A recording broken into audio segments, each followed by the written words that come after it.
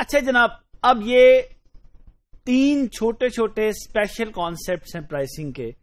इससे पहले कि हम प्राइसिंग स्ट्रेटजीज की तरफ़ मूव कर जाएँ और उनकी डिस्कशन में गुम हो जाएँ, आइए इन तीन छोटे छोटे इंटरेस्टिंग कॉन्सेप्ट्स पे बात करते हैं, जो कि हमें एवरी डे प्राइसिंग में बहुत ज़्यादा नज़र आते हैं। पहला कॉन्सेप्ट है गुड वैल्यू प्राइसिंग ये आप समझ लें कि एक एडवाइस है, एक सजेशन है एक गुड जेस्चर सेइंग है कि देखिए, जब आप प्राइसेस को सेट कर रहे हों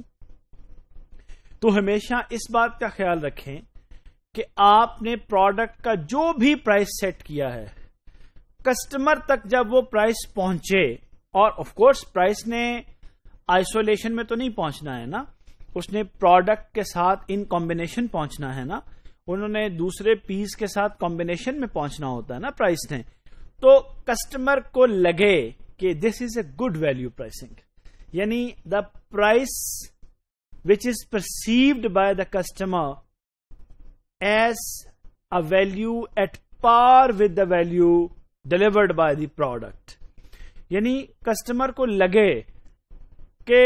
भैया ये जो प्राइस हम मैंने पे किया है और उसके बदले में जो मुझे मिला है प्रोडक्ट या जो उसके साथ एसोसिएटेड सर्विसेज़ हैं तो ये तो एक वैल्यू डील है। तो इसको हम कहते हैं गुड वैल्यू प्राइसिंग देखें गुड वैल्यू प्राइसिंग कस्टमर के ही मफाद में नहीं होती है। वो आपके अपने मफाद में है। अगर आप अपना ब्रांड बिल्ड करना चाहते हैं ना, और आप चाहते हैं कि लोग बार बार वापस आए, मैंने देखा है ऐसी प्रोडक्ट्स ऐसे स्टोर्स को, ऐसी ऑर्गेनाइजेशन क्योंकि बार बार लोग उनके पास जाते हैं या उनके पास जाने को दिल करता है। क्यों? उनके हाथ से खरीदी हुई चीज़ जो है, वो लगती है कि गुड वैल्यू है। तो गुड वैल्यू प्राइसिंग ये एक ओवरऑल आप कह लें कि इम्पैक्ट है जो आपकी, वो प्राइसिंग क्रिएट करती है, जो जस्टिफाई करती है आपकी प्रोडक्ट की क्वालिटी के साथ, उसके फीचर्स के साथ। नंबर दो पे एवरीडे लो प्राइसिंग देखें, ये एक ऐसी प्राइसिंग सूरत हाल है मैंने इसके लिए ना लव स्ट्रेटेजी इस्तेमाल किया है ना मेथड इस्तेमाल किया अप्रोच इस्तेमाल कर लेता हूँ। जिसमें स्टोर्स जो होते हैं